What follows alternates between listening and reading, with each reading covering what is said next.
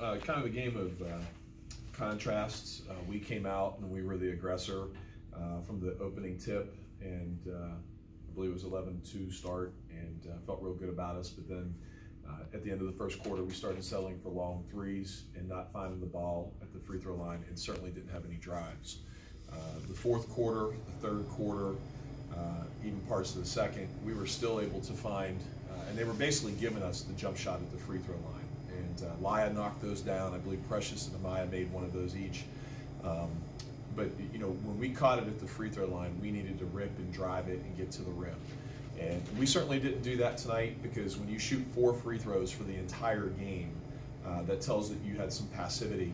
And uh, we certainly didn't help ourselves uh, by not driving the ball more. And uh, you know, I, I, really do believe that we're the best six and eleven team in the country. We've been in just about every single game uh, outside of the first week of the season uh, where we've lost uh, by a couple possessions or less, and uh, we're still trying to correct things. Uh, we've got a, a, very young group with some very experienced veterans uh, who are playing through some significant health issues, and I'm still very proud of them, and I come to work literally every day excited about the positivity around those kids, and I know that they come to practice with the same. Uh, with that being said, uh, you know, I said in the locker room today is almost like a tipping point. Um, it, you know, we can't continue to lose close games, and we can't continue to have passivity uh, at times. Uh, we have to be the aggressor for 40 minutes, not for 28 or 30, and uh, that was tonight. You mentioned settling in your opener, Dan. Just how much do you think settling has become maybe too much of a consistent factor in deciding some of these close games? Uh, you know, I, I, you know, it, it ha- excuse me, it happens. Other teams are going to do that to you, and we're going to do that to other teams. You're not going to. It's very hard to play 40, 40 minutes with the gas, with the pedal on the gas, uh, and no brakes. Um, you know, tonight I, I, was really disappointed on how we put the ball above our head uh, when we caught it on the arc and we, we didn't look to drive it into attack space for short jumpers.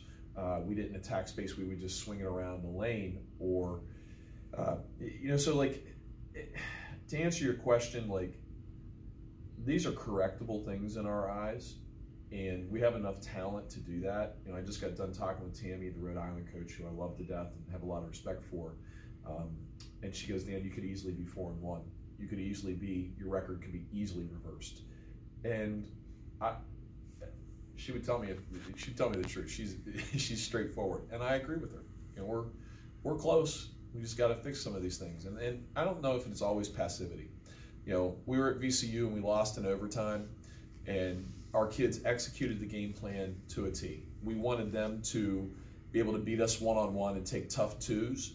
Well, they made 26 baskets, I believe, on one or two assists. So they beat us and we executed our game plan. Sometimes that's going to happen, um, but it's you know a missed box out here, it's a missed defensive assignment there, and uh, for us tonight, a little bit of it was being passive and only getting to the free throw line four times. When you say your team's the best six and eleven team in the country, how important do you feel that it is that your team believes that and they continue to have that mentality and that belief in each other and the family?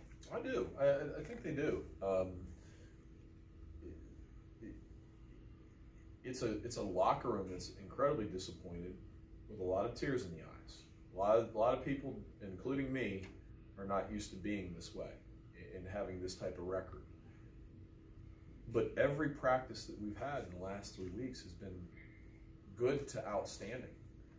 Uh, I mean, vocal, energy, effort, enthusiasm, all there.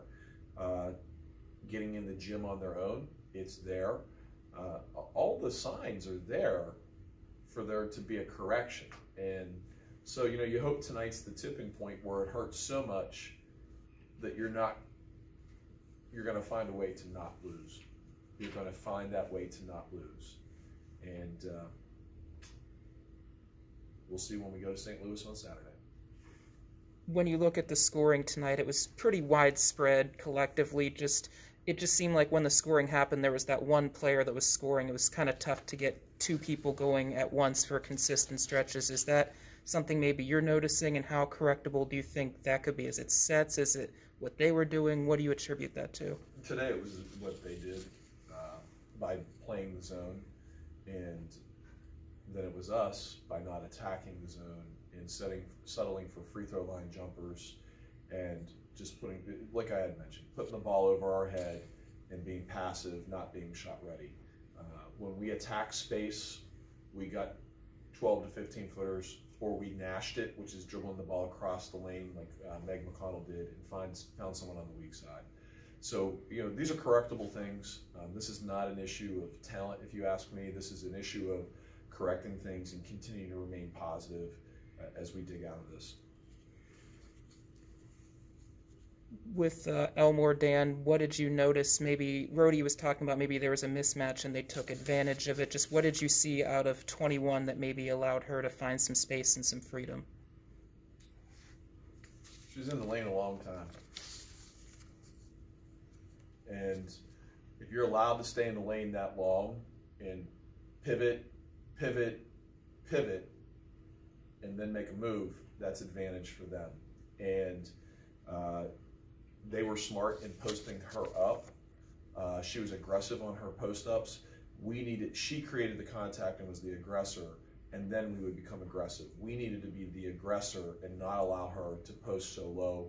And, and frankly, she never passed out of it. So, you know, blame me for that. We should have doubled that after after that happened, and, and we didn't do that.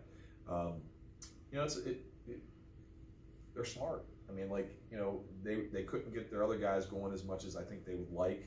Uh, you know, even though you know, number two, I, I don't know how to say their names, so I'm just going to call them by their numbers. Number two and 31, uh, you know, maybe didn't score quite as much or needed a lot of attempts to get there. Uh, so you know, to Tammi's credit, she went and isolated 21. Thanks, Dan. That's all you guys got.